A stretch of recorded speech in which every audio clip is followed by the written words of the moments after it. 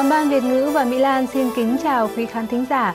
Mời quý vị cùng đến với chương trình tin tức thời sự tối ngày 5 tháng 4 năm 2018. Chương trình của chúng tôi hôm nay gồm có những phần tin và thời sự đáng chú ý sau đây. Hơn chục người bị bắt trước phiên tòa xử hội anh em dân chủ. Bộ Quốc phòng phải chủ trì tác chiến không gian mạng. Mỹ bày tỏ mối quan tâm đến COC. Trong phần thời sự chúng tôi sẽ có phần tìm hiểu về tình trạng tranh chấp đất đai dẫn đến xô sát giữa chính quyền với người dân mà trường hợp mới nhất xảy ra tại xã Đèo Gia, huyện Lục Ngạn, tỉnh Bắc Giang. Ngoài những nội dung vừa nêu, chương trình còn có những thông tin đáng chú ý khác. Mời quý vị và các bạn cùng theo dõi.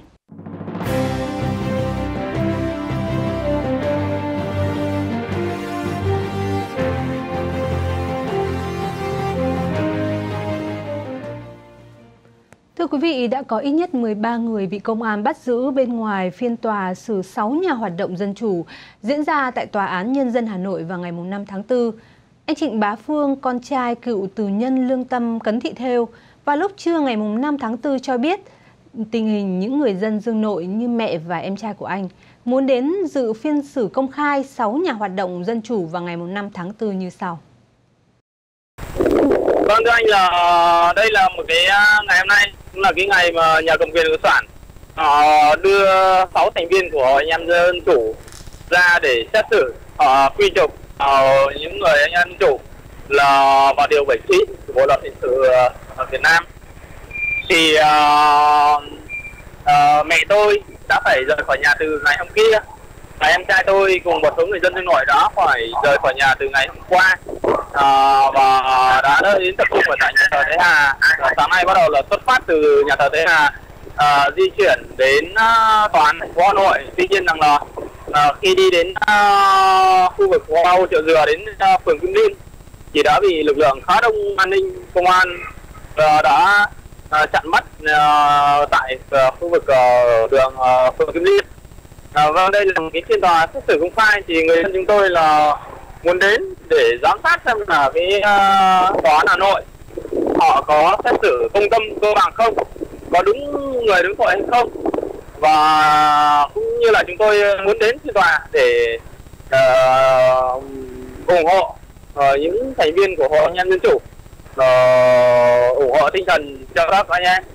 Ờ, ở tại phiên tòa tuy nhiên rằng là những cái nguyện vọng của người dân đến chúng tôi là khi đến tòa đều đã bị uh, không bị ngăn cản và thậm chí họ đã tổ chức bắt bớ và hiện tại tôi chưa có thông tin thêm hiện chưa biết được là mẹ đâu bé anh trai tôi đang giam giữ ở đâu và có bị ờ, hành hung đánh đập hay không.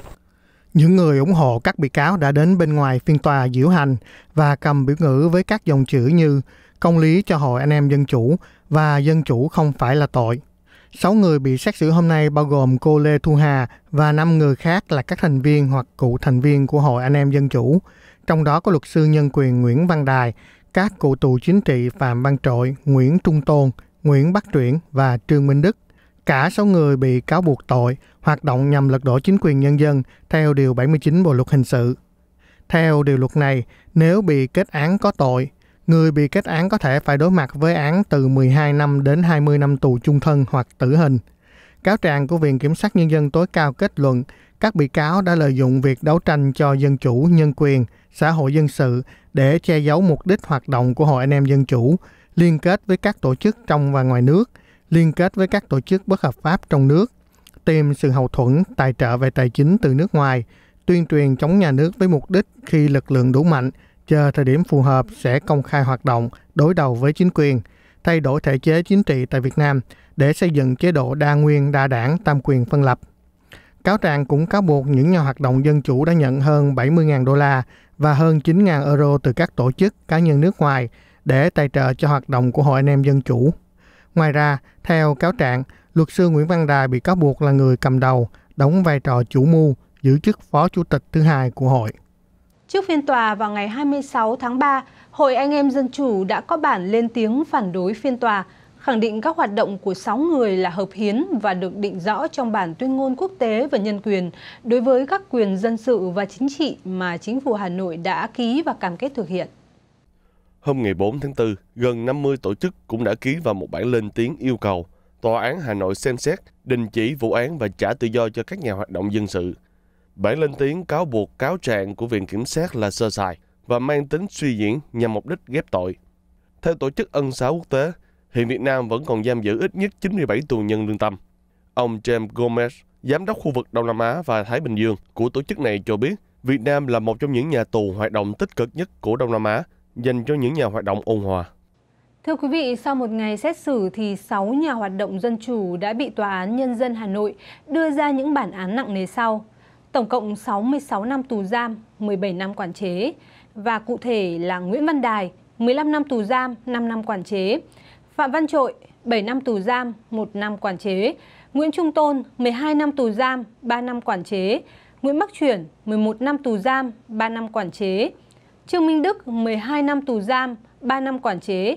Và cô Lê Thu Hà 9 năm tù giam, 2 năm quản chế.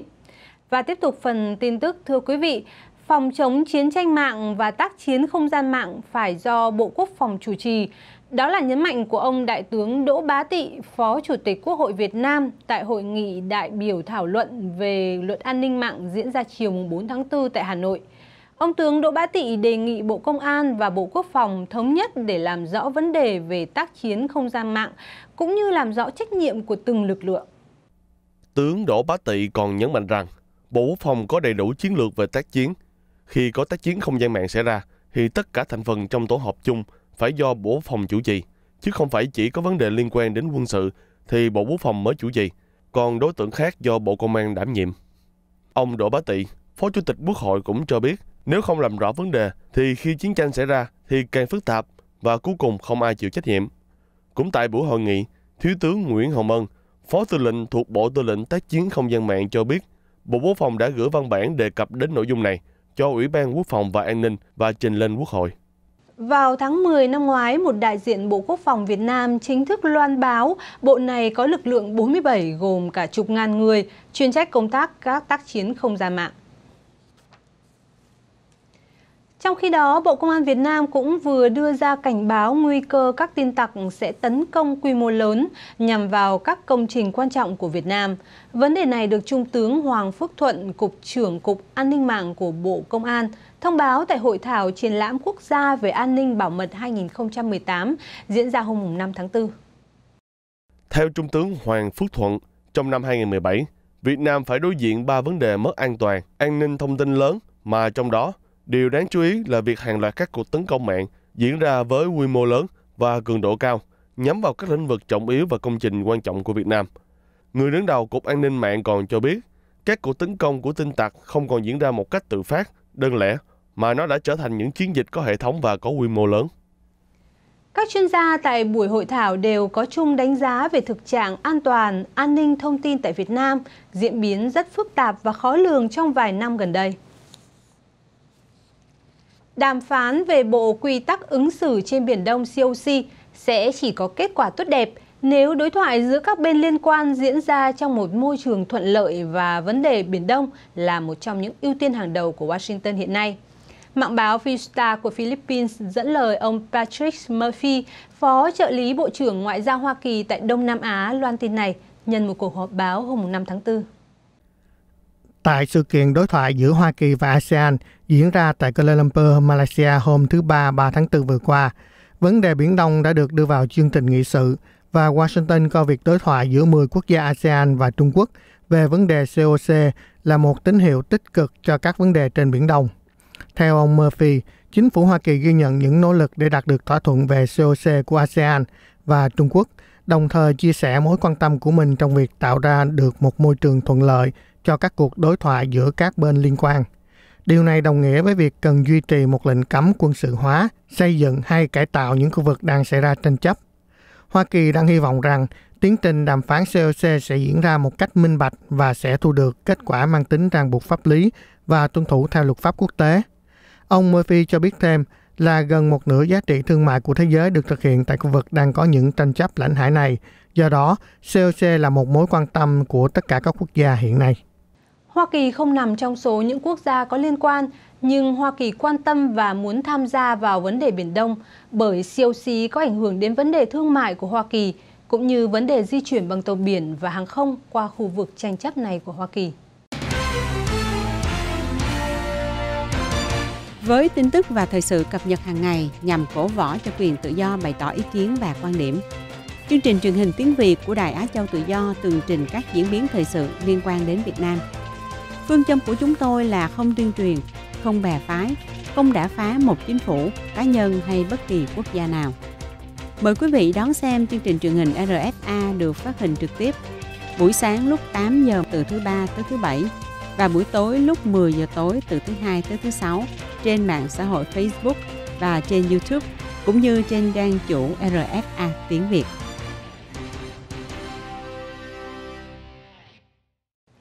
Quý khán thính giả vẫn đang theo dõi chương trình truyền hình tin tức thời sự của Ban Việt ngữ Đài Á Châu Tự Do đang được phát trực tiếp qua mạng xã hội Facebook và YouTube. Mong quý vị chia sẻ và giới thiệu chương trình của chúng tôi đến với nhiều người thân và bạn bè để cùng theo dõi.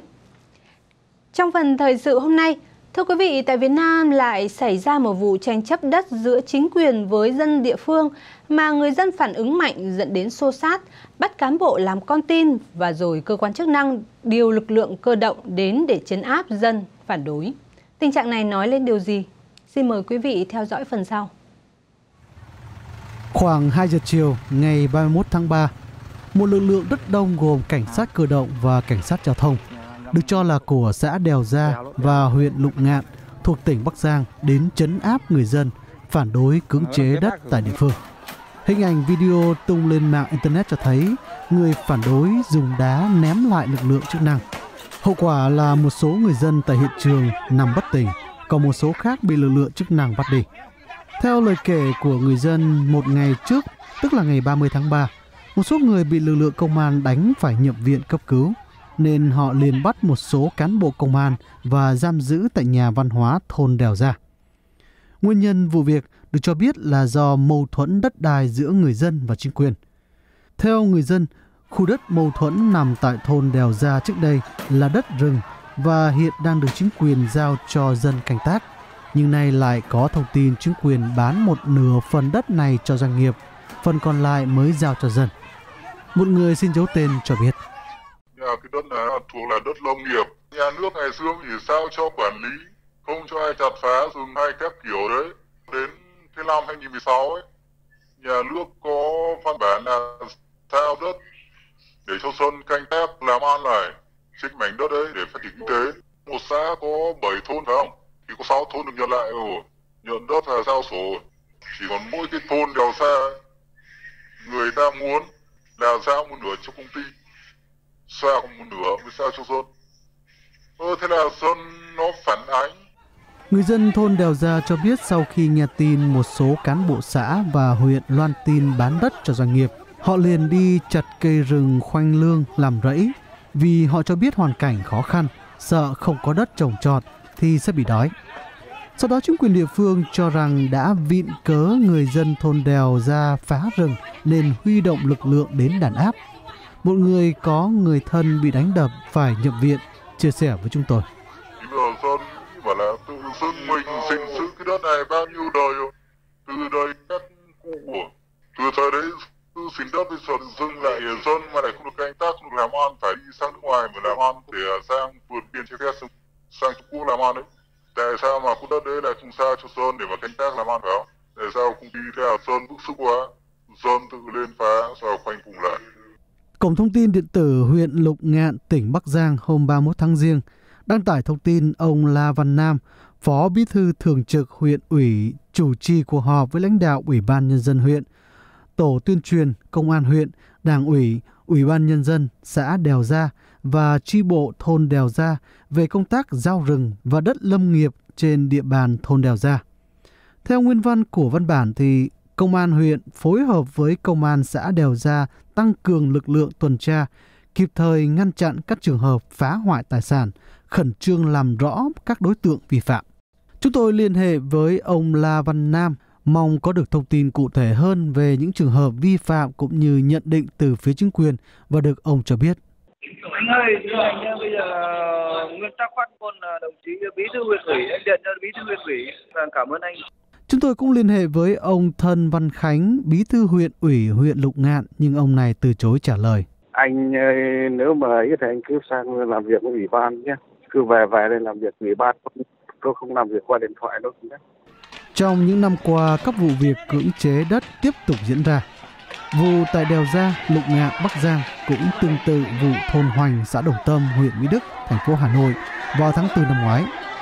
Một số vụ được nhiều người biết đến trước đó gồm Dương Nội từ năm 2010 đến nay, vụ tiếng súng hoa cải đoàn Văn Vươn ở Tiên Lãng năm 2012 hoặc nhiều câu chuyện đất đai khác đều có điểm chung là người dân đã cương quyết phản kháng chống lại việc chính quyền tổ chức cưỡng chế thu hồi đất bằng bạo lực mà người dân trong diện bị thu hồi phát hiện đất được lấy để bán cho doanh nghiệp làm dự án bất chấp quy định chỉ lấy đất của dân để phục vụ mục tiêu công ích hay quốc phòng.